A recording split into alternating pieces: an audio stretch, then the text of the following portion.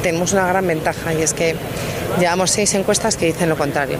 Realmente para nosotros lo traumático no fue Andalucía, sino fue la Comunidad de Madrid. Somos el municipio más importante del Ayuntamiento de Madrid.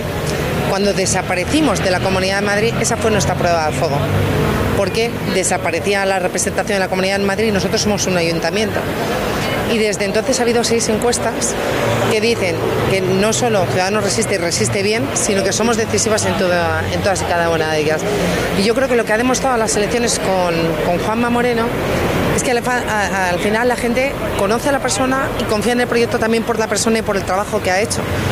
Y yo creo que en Ciudadanos, en el Ayuntamiento de Madrid, hemos demostrado muchas cosas, tenemos un proyecto propio, hemos sido leales, no hay mucha gente que pueda decir he renunciado por dos veces a la alcaldía por ser leal, por ser leal a un proyecto y además ante casos eh, que no eran mm, todo lo eh, lo transparentes que a nosotros nos hubiese gustado, tampoco nos ha temblado el pulso.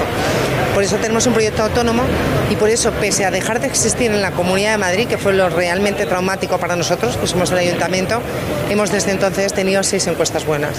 Yo creo que el voto de Ciudadanos es muy urbanita y se está demostrando ahora.